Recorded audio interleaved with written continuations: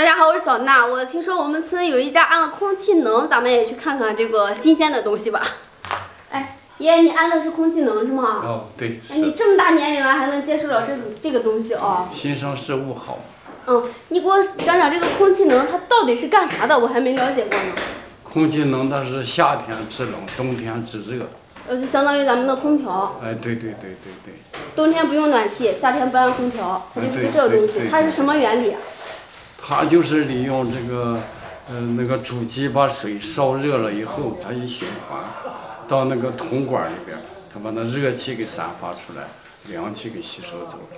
要夏天吧，它就把热气吸收走了，凉气散发出来。用电吗？用，主要是用电。我还想着是空气能，空气能，我还以为不用电呢。用空气能。哦，本来也用电，它费电吗？就是。也不太费电。呃，就是咱一个月，比如烧空调得三百块钱，如果用空气能呢？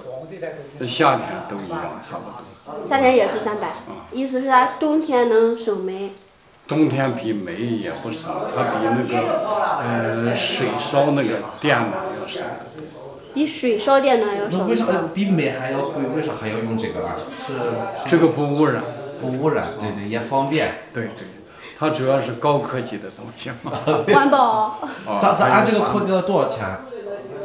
这个大概就是三万多块钱，是吧？不便宜了。那成本会挺高的呀。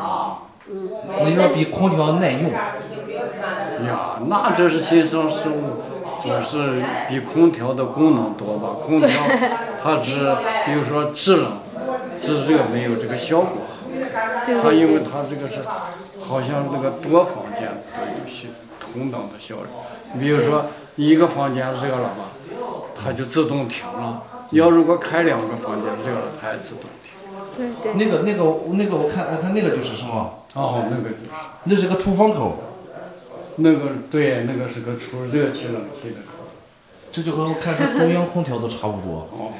空气能九底说他这个意思就是，比如说就是这几间房子，你要安空调的话得一间一个，它这空气能就是一个就把这全部的房子都带起来了。